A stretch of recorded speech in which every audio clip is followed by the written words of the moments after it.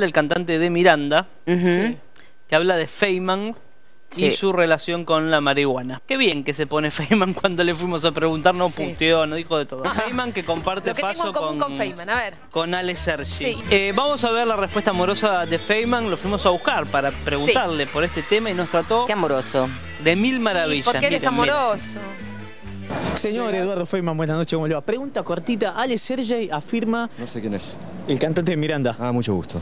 bueno, bueno, afirmó que en algún momento él habría tenido un romance con usted, no le estoy bromeando, y que usted le habría convidado marihuana en alguna ocasión. Está boludo. No, él dijo eso en el programa Rocking TV en Canal Metro el sábado después de la medianoche, en serio le digo. Me estás boludo. No, tengo el link de YouTube, se lo puedo mostrar en No, gracias, gracias. Dijo, usted no le... Pero, ¿qué opina de esto? ¿Está enojado con esta declaración? Eduardo, cortito, quiero... Le invitaría al programa a discutir porque dice que usted le, le habría convidado marihuana a él en una ocasión. ¿No, sucedió nunca eso? Pero le pregunto... Vos, sí. vos, te- vos sos pe...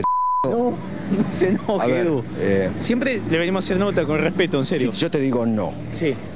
¿te queda Bueno, claro? Me queda claro. Ahora le pregunto, ¿por qué hizo esto, Ale? ¿En parte, broma? ¿Qué parte del no no entendiste?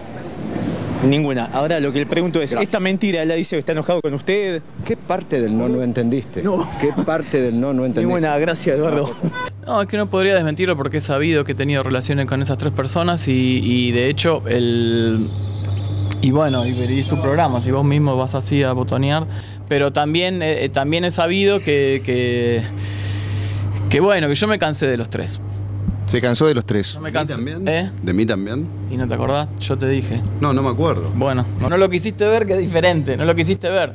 Pero desgraciadamente yo tengo, yo, yo me dedico a, a- a esto y, y vos querías que deje mi profesión. No, quería que dejes a Feynman. ¿Qué No. es tu profesión? ¿Eran No. o Feynman o yo? A Feynman no lo puedo dejar.